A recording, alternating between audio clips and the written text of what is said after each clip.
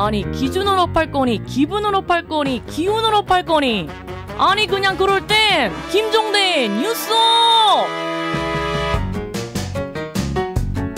네. 자, 못 듣던 그, 저, 여기 뭐라고 합니까? SB라고 하나요? 그, 이렇게 코너가 나오고 있는데, 우리 제작진에 검지라는 작가가 있습니다. 대단하신 분이죠? 방금 녹음된 목소리였습니다. 자, 김종대의 뉴스업이 우주의 기운을 모아 기획한 코너. 매일매일의 코너가 다 그렇습니다만, 오늘 처음 소개해드리는 코너입니다. 바로 관계업입니다. 여러분들은 관계 맺기 잘하고 계시나요? 저는 솔직히 자신이 없습니다. 빈약한 우리들의 관계를 업시켜 주실 분. 모든 것에 대한 관계 맺기의 달인 이라영 작가님 어서 오세요. 안녕하세요. 네.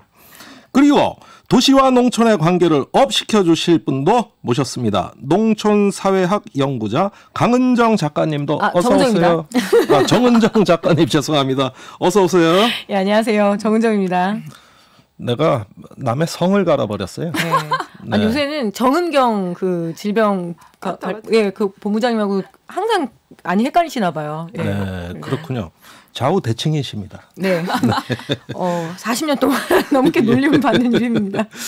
예, 우리 농촌사회학 연구자 정은정 작가는 아, 이런 책을 쓰셨나요? 대한민국 치킨전.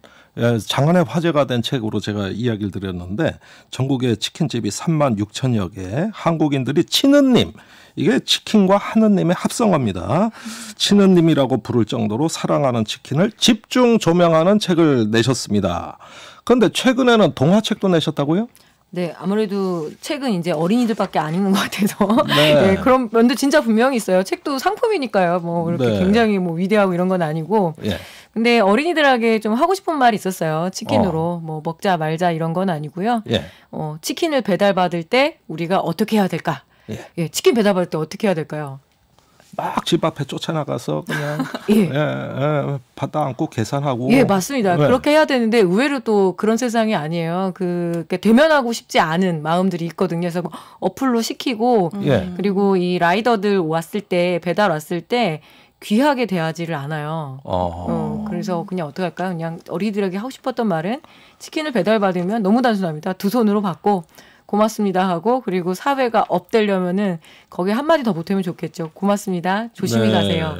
이 정도 이야기할 수 있는 사회면 좋지 않을까라는 좀 그런 마음 담고 싶었습니다. 예. 아, 그러니까 이게 어떻게 해서 우리 집까지 온 건지 알고서 먹자. 네. 그다음에 배달해 주시는 네. 이 많은 분들을 따뜻하게 맞이하자. 예, 닭 기르는 농민 그리고 닭을 튀기는 예, 노동자 그러니까 사장님들이시죠 그리고 배달하는 라이더들까지 이렇게 전체 과정들에 대해서 조금 그리고 싶었고 그림이 예뻐요 저 제가 그린 건 아니고요 음. 그림 작가님이 워낙 그림을 잘 뽑아주셔서 그림 보는 재미가 있다고 하더라고요 네, 아는 만침 맛있다. 네, 네 그렇습니다 네, 정리 잘 했습니까? 아 예 잘하시네요 이제 조금 적응하셨나 봅니다 예. 네. 아우 칭찬받으니까 어쩔 줄 모르겠네요. 제가 칭찬에 좀 약해요. 네. 네, 자 우리 식탁 위에 오르는 많은 식품들, 수많은 관계들이 농축돼 있죠. 만드는 사람, 나르는 사람, 진열하는 사람, 포장하는 사람, 또 주문하면 날라주는 사람. 자 이런 어떤 그 관계망 속에서 우리가 식탁에 음식이 올라오는 이런 어떤 상황을 한번 쭉 생각해 보면은 더 맛있어집니다. 그런 생각을 많이 하시죠? 사실 좀 더 젊을 때는 잘 안 했고요. 예. 그냥 뭐 맛이 있다, 없다, 뭐 몸에 좋다, 나쁘다 이렇게 먹는 입장에서만 생각했지. 예. 솔직히 뭐 얘가 어디서 오고 이런 걸 별로 생각을 안 했었고요. 네. 그런데 이제 점점 그렇게 생각하게 되고 이제는 음. 이 먹거리가 무엇이 아니라 누구인가 예. 좀 주어가 바뀌게 되더라고요. 누구인가? 누구인가. 예. 어우, 저도 갑자기 뜨끔해집니다. 네. 우리 이라영 작가님은 오늘 처음 이제 출연하시는데 작가들이 섭외를 하는데 출연 시간이 7시 15분부터 시작한다고 안내 드리니까 이런 말을 하셨다고요? 제일 배고플 시간이네요. 네. 뭔가 굉장히 손해 보는 느낌. 아, 저 배고프면 난폭해지기 때문에 지금 네. 걱정이 됩니다. 아, 그렇습니까? 아이고 죄송합니다. 저 조심해야겠네요. 자, 오늘 우리 관계를 업시켜 줄 이야기를 본격적으로 시작해 보겠습니다. 문재인 대통령이 국무회의에서 기후 변화 대응을 위해 2050년까지 탄소 중립 목표로 하자. 얼마 전에 국회 시정연설에서 한번 선언한 탄소 중립을 오늘 국무회의에서 또 말씀하셨습니다. 국회에서도 여야 합의로 기후위기 대응 비상결의안을 의결한 바 있고요. 자, 두 분. 정부와 정치권에서 이런 기후위기 대응 제대로 하자는 선언이 이어지고 있는데요. 준비가 잘 되고 있다고 생각하십니까?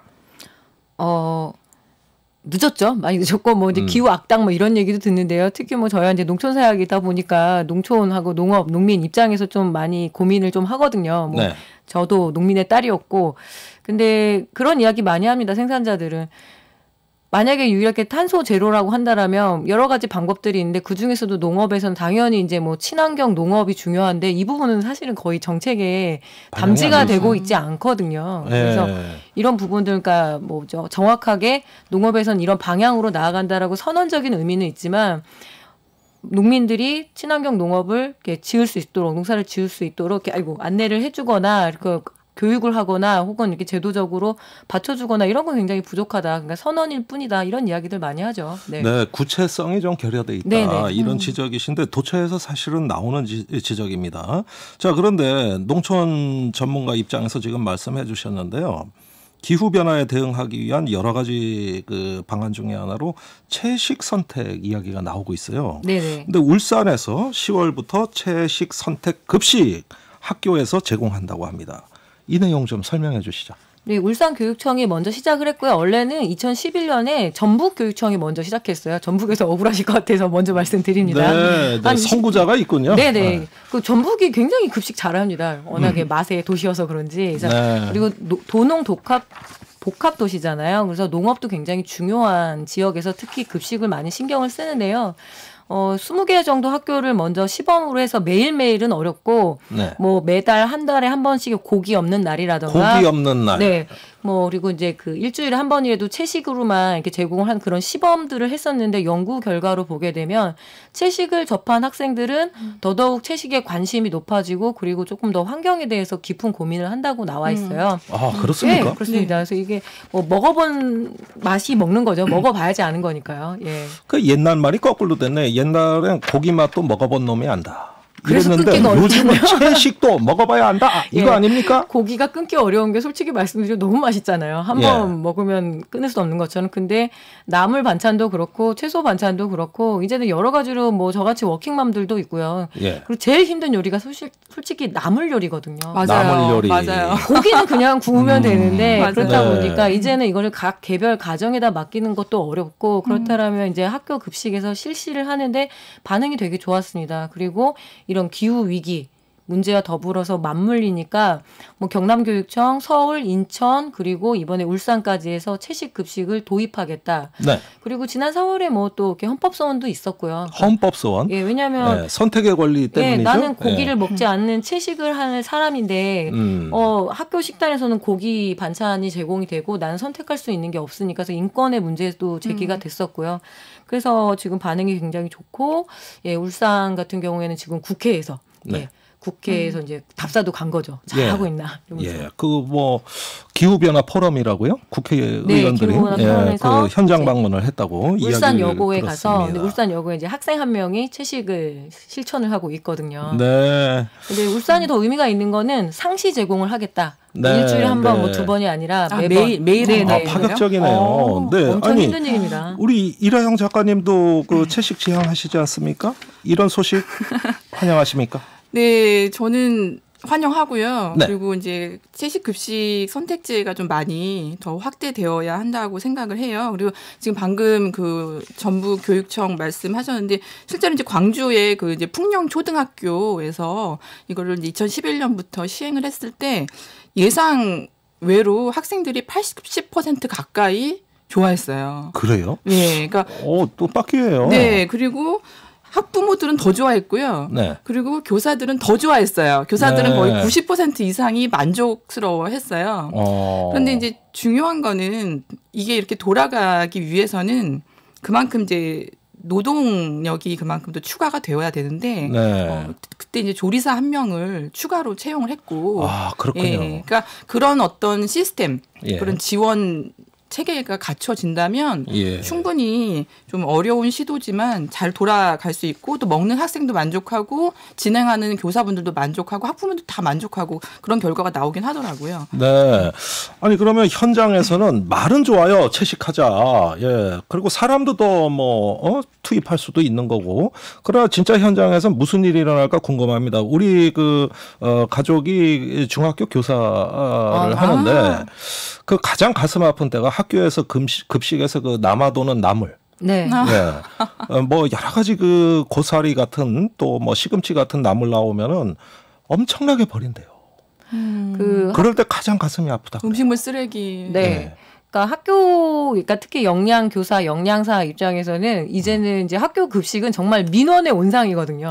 네. 학생들부터 해서 이제 학생의 이야기를 들은 학부모님부터 해서 그리고 어떤 한 메뉴를 만들어놨을 때 어린이부터 60 넘은 교장 선생님까지 다 예. 누구를 만족시킬 수가 없는데 예. 지금 최근에 뚜렷한 현상은 뭐냐면 90년대 교사도 네. 왔다라는 거죠. 네. 그래서 뭐 이랑 선생님이 말씀해주신 그런 사례도 있긴 하지만 대체적으로 영양 교사들이 이렇게 식단을 짜놓으면 특히 채소나 나물 위주로 해놓으면 이게 가장 손도 많이 가는데 버려지기도 하고. 근데 예전에 그게 학생들만 그랬는데 이제는 교사들도 아 저도 안 먹겠습니다 이렇다는 거죠. 아니 그럼 시기상조 아닙니까? 이 아, 엄청난 예. 낭비가 발생할 수도 있는데. 근데 그렇게 미각 교육 전문가들은 얘기를 해요. 그러니까 조기 교육일수록 좋은 교육은 유일하게 미각 교육일 뿐이다. 그러니까 어렸을 예. 때 그래도 나물 반찬이 혀끝을 지나가 봐야지만 그 기억을 갖고 있거든요. 예. 네. 예, 저도 뭐 쑥버무리 같은 거 어렸을 때 먹어 봤으니까 지금 이렇게 도시 생활을 하면서도 그거 한 번씩 먹고 싶은데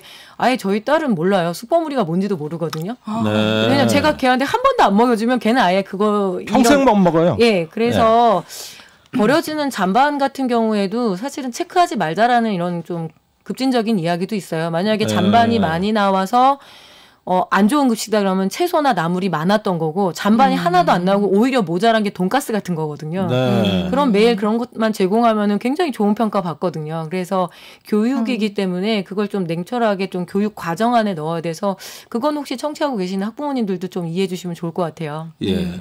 게다가 뭐 이런 이야기도 있어요. 어, 대여섯 명의 급식 노동자가 짧은 시간에 900인분을 준비하려고 해봐라. 예? 그다음에 조리실은 전쟁터다. 무 하나 껍질을 벗기는데 20초 안에 해야 되고.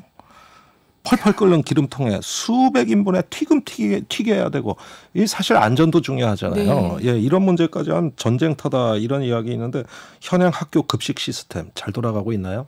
지금 보통 어, 학생 100명당 그 한 명의 조리사라고 얘기하고요. 또 네. 굉장히 상황이 안 좋은 데는 130명당 한 명씩이기도 하거든요. 그러니까 네. 점심에 조리사 선생님들께서 어 130인분, 100인분을 쳐낸다고 보시면 돼요. 그러니까 쳐낸다라는 표현이 딱 맞거든요. 네. 근데 채식급식 뜻도 너무 좋고 그 메뉴 선택의 어떤 다양성 그리고 뭐 인권 차원 여러 가지로 굉장히 뜻은 좋, 뜻은 좋지만 학교에서는 이렇게 메뉴 하나를 새롭게 라인을 하나 짜려면은 동선이 다 바뀌어야 되거든요. 네. 예, 영양교사들은 아이들의 어떤 배식 동선 짜주고 이런 것도 되게 중요한 일상이에요. 예. 근데 새로운 메뉴 들어온다라는 거는 그 급식실에서는 전쟁이 벌어지는 거죠. 그래서 네. 제가 이제 준비를 하면서 영양사 선생님들하고 조리사 선생님들 여쭤보니까 현장에서는 굉장히 새로운 뭐랄까 고생거리 늘었다 이렇게도 받아들이신다고 하더라고요. 네. 음.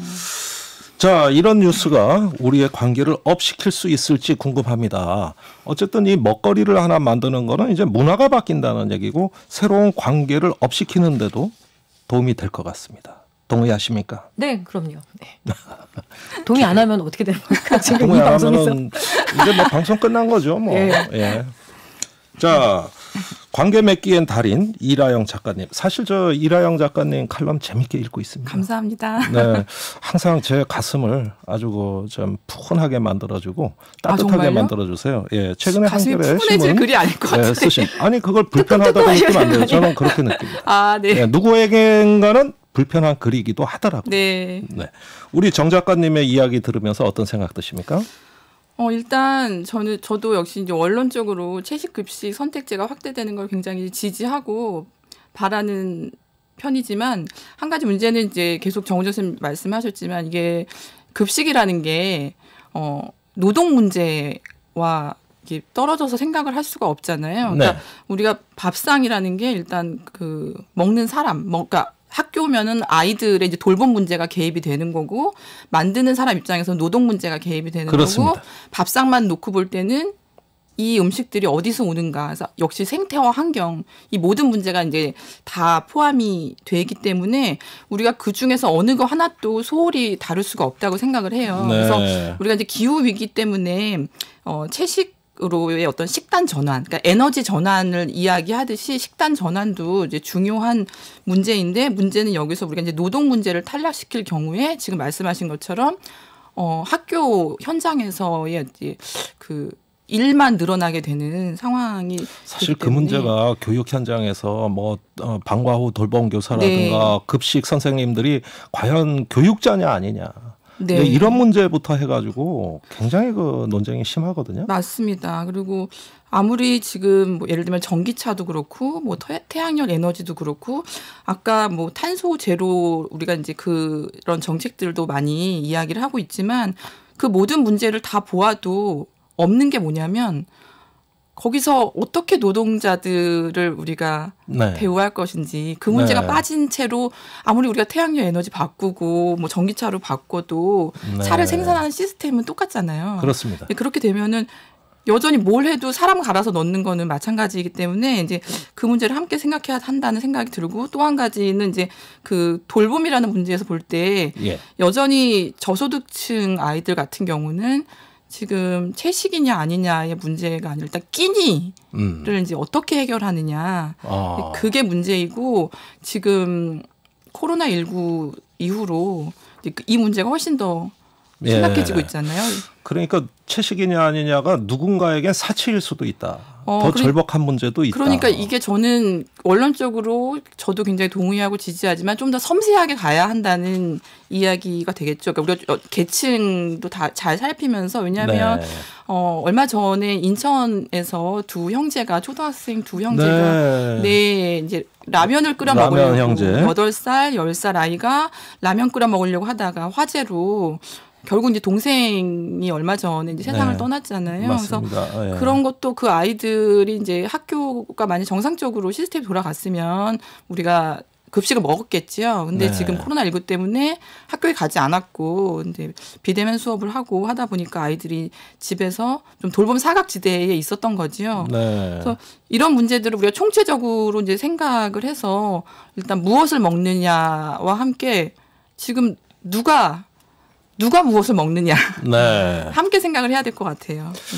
예, 그 학교가 아닐 경우 보호받을 수 있는 데가 지역의 지역 아동 센터, 네. 돌봄 센터들이 있거든요. 네. 근데 거기도 코로나 때 문을 닫았어요. 네. 그러면 왜 한부모 가정이나 그 갈 데 없는 아이들은 그럼 마지막 안전한 공간이 없어진 거거든요. 네. 그래서 특별 관리를 하려고 문을 완전히 못 닫습니다. 네. 예. 그러면은 저도 지역을 돌아다녀 보면 대략 한 30%그 지역 아동 센터에 오는 30%가 마지막 안전한 공간에 에, 수용되는 에, 대략 한 30명 중에 7명 정도 되더라고요. 네. 여전히 사각지대인데 아동 센터 너무 열악합니다. 네. 그러니까 이 먹거리 문제도 결국에는 분배 정의의 문제라고 생각을 해요. 그러니까 네. 어떤 사람은 너무 많이 먹어서 단백질이 너무 많이 너무 단백질을 섭취해서 문제고 그렇죠. 그리고 실제로 한국은 지금 아동 청소년 비만율이 증가하는 추세거든요. 네. OECD 다른 국가들에 비해서 성인병도 자꾸 연령이 네. 짧아지죠. 그런데 한쪽에서는 아이들이 지금 코로나 19로 새끼를 모두 먹는 아이들의 수가 줄었어요. 네. 네, 그러니까 이런 좀 급격하게 양극화되는 현상을 함께 좀 봐야 될 필요가 있다고 생각을 해요. 예, 양극화가 우리 아동들 어, 굉장히 어떤 그 보호받지 못하는 아이들에게까지도 지금 파급되고 있다. 자, 이 공백 어떻게 해결해야 될까요? 음, 제가 이번에 채식급식 그 도입, 그러니까 채식 선택 급식 또 세- 채식 급식이라 그러면 또 많은 분들이 이제 예. 풀만 주냐 막 이렇게 맞아요, 하는데 맞아요. 예. 아, 그리고 이제 이런 요구들이 국방부까지 수용을 해서 왜냐면 군인들 중에서도 이제 입대하기 전에 나는 채식 을 하던 사람인데 군대에 가면 또 고기를 먹게 되잖아요. 잠깐만요. 예. 제가 국회에서 국방위원회 아, 할때 그러니까 제가 그 공약 만들어서 예, 진짜요? 최초에 그래서 제가 예. 좀 이렇게 업시켜 드리려고 일부러 갖고 온 감사합니다. 이야기입니다. 감사합니다. 예, 계속. 국방부에서까지도 했는데 네. 고기는 배치라는 생각이 들어요. 이랑 음. 선생님이 얘기하셨던 것처럼 제가 좀 학교 현장에 가보면 여전히 고기에 대한 접근권 특히 쇠고기예요. 한우는 저도 사실 자주 못 먹거든요. 네. 이게 좀 고기라고 하면 우린 다 뭉뚱그리는데 축종별로 나눌 필요가 있습니다. 확실히 학교에서도 돼지고기나 닭고기들은 선택을 많이 하는데 영양교사들도 이렇게 뭐랄까요 쇠고기는 좀 손이 덜덜 떨리죠. 그리고 네. 뭐 이렇게 구워 먹을 꽃등심을 주는 거는 아니고 국을 끓이는 그런 용도의 고기가 제공이 되는 건데요. 예. 여전히 어떤 쇠고기에 대한 접근성은 굉장히 좀 떨어지는 편이고 그 마른 학생들이 있어요. 마른 학생. 그러니까 BMI 지수가 떨어지고 그러니까 음. 조, 제대로 잘못 먹어서 혹은 여러 가지 이유로 마른 학생들에겐 고기가 필요하거든요. 네. 그래서 어느 한쪽에 쏠리는 게 아니라 너무 많이 먹는 쪽에서 조금 덜 먹는 쪽으로 옮겨주고 좋은 고기를 어떻게 배치할 것이냐 이런 고민을 되게 할 필요가 있고요. 그리고 예. 꼭 학교 급식에만 한정할 필요는 없고 노약자들 특히 음. 취약계층들의 어르신들이 그런 얘기 참 많이 하십니다. 공공급식 많이 하죠. 이렇게 무료로 급식도 하시, 하시곤 하는데 네. 메뉴에 대한 아쉬움을 몰래 토로를 하세요. 고기 반찬이 좀 있었으면 좋겠다. 음. 예. 예. 그런 경우가 있다라는 거죠. 그래서 우리가 늘 너무 고기 너무 많이 먹는 사회에 인정은 하는데 여전히 고기를 먹지 못하는 사회가 같이 병립하고 있다라는 거죠. 예. 그래서 좀 배치를. 경로당도 양극화가 심해요. 네. 아파트촌 잘 사는데 경로당은 뭐 운영비도 있고 뭐 들어오는 게 많아요. 그런데 그 다 쓰러져가는 그 오래된 구도심에 그 양로원 가면은 진짜 반찬이 김치 하나입니다. 아주 어. 끔찍합니다. 거기에 가면은 민원이 쌀 좀 더 달라는 거예요. 네. 쌀도 모자랄 아. 정도니 반찬은 나중 문제고 그렇게 경로당도 같은 지역 내에서 달라요. 예, 그래서 서울연구원에서 그 작은 연구라고 해서 이 대학원생 두 명이 아현동의 마을 해관, 그러니까 경로당을 계속 이렇게 인터뷰를 한 게 있어요. 쫓아다닌 거죠. 그런데 네. 이 반찬을 동원하기 위해서 거기에 멤버들, 노인들이 그러니까 왜 예배도 가시고 그리고 네. 전 그렇게 쌀 주는 데를 돌아다니시기도 하거든요. 근데 예. 또 어떤 한편에선 우리는 조금 더 잘 먹겠다고 그러니까 조금 여력이 있는 노인들은 회비도 많이 내서 하고 음. 조금 더 음식 솜씨가 있는 소위 말하는 가사 도우미를 고용하겠다고 하는데 옆 동네에 음, 소위 말하는 가난한 동네에 거기서 어. 반대하셨대요. 너네들이 그렇게 인건비를 올려주면 우리는 아예 사람이 오지 않는다. 그렇죠. 이게 신뢰거든요. 그런 예. 이야기들이 되게 많아요. 네. 그렇습니다. 자, 이게 그 노인과 아동의 네. 어떤 급식 문제는 앉은 자리에서 갖춰진 식사를 하느냐 마느냐 문제거든요. 네, 코로나 19 이후로 특히 이제 노인 복지관도 문을 닫았잖아요 한동안. 네. 그러니까 지금 그 노인 복지관 식사를 해결하시던 분들도 갈 곳이 없어졌고 그래서 네. 진짜 점점 약자일수록 그 저소득층일수록 가장 기본적인 먹는 문제에서 훨씬 더 취약해지고 있다는 게 좀 이게 이게 우리가 좀 너무 좀 비참한 현실이라는 좀 생각이 들어요. 한쪽에서는 막 뭐 모임을 자제하라 이러는데 한쪽에서는 아예 모일 공간 자체를 예. 박탈당했으니까요. 전혀 딴 세상이 됩니다. 네, 네. 그 우리 이 작가님은 식탁의 정치학이란 책 쓰시지 않았어요? 정치적인 식탁이에요. 아, 정치적 식탁. 아이고 죄송합니다. 아, 이건 좀 야단 좀 맞아야 됩니다. 네. 괜찮습니다. 아니 그러니까 식탁에서부터 시작되는 정치가 한 가정 내에서도 그렇지만 지역 간에 또 지역 내에서도 네. 어, 극심한 차이를 보게 되는 거거든요. 네. 예, 그런 점에서 먹는 거 하나만큼은 평등한 세상이 됐으면 좋겠다고 네. 생각이 들고요. 자, 이런 공백을 해결하는 게 급선무입니다. 핀란드 경우에는 이런 것까지 다 살펴서 이미 대책을 마련했다고 하던데요. 네, 이- 아무래도 나라마다 물론 조금씩 사정이 다르니까 우리가 뭐 예. 다른 나라의 사례를 무조건 뭐 우리에게 다 이렇게 맞출 수는 없지만요. 그 코로나 19가 이제 발생을 하면서 무조건 우리가 다 어디 문을 닫고 폐쇄하고 일단 다 뭐 가정으로 이렇게만 할 게 아니라 공공의 영역에서 무엇을 해야 하는가를 생각을 해야 되잖아요. 그런데 네.